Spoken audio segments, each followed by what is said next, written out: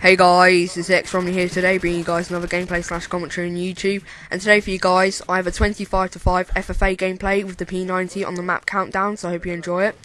And in today's video, I'm going to be talking about my thoughts on COD 4. And I've already done this on MW3 and World at War, but I will be doing this on um, COD 4, obviously this video, and I'll be doing one on Black Ops 2 soon as well. And I've actually been really enjoying Black Ops 2 lately. I've been running in a party and going for swarms. And just a minute ago, I actually got four swarms. I got one random class generator swarm. I got a swarm with the LSAT and a swarm with the SVU sniper.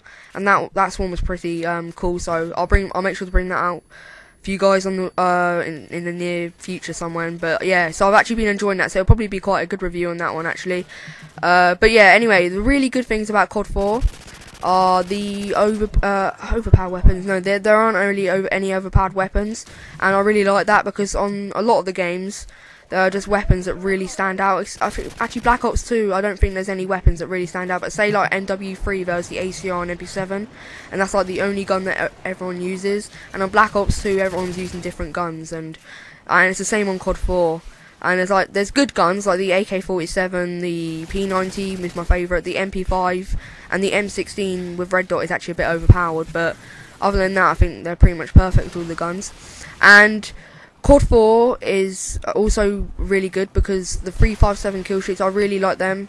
Uh, like World at War and COD 4 both have 357 kill streaks. It's really simple and it's mainly down to gun skill. Gun skill. So like say on Black Ops 2, you just if you get a lodestar, you're automatically pretty much got a really good gameplay.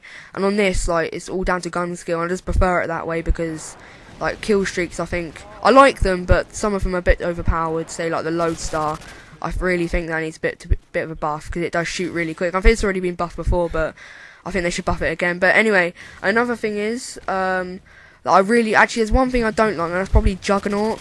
Uh, Juggernaut is pretty annoying. I know you can kind of counter that by using stopping power, but it's still, it really does increase your health a lot. But I think I've only used it in like one of my gameplays, but I don't even know. I, I don't even know why I had it on, but I don't usually use that. I usually use stopping power.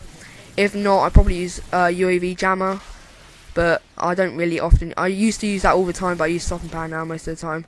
But yeah, and it was funny actually because when I first got my HD PVR and started YouTube, I think my first ever video I posted was a um, COD 4 triple collat. And as as soon as I got my HD PVR, I set it up with a few mates and recorded, and I um put, pulled out a sniper and I hit my first triple collat.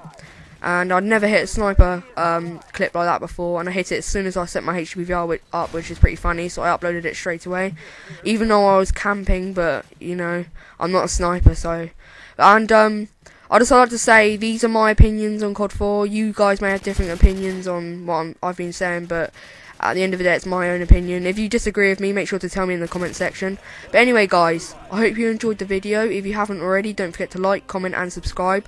And I hope you all have a very nice day. Peace.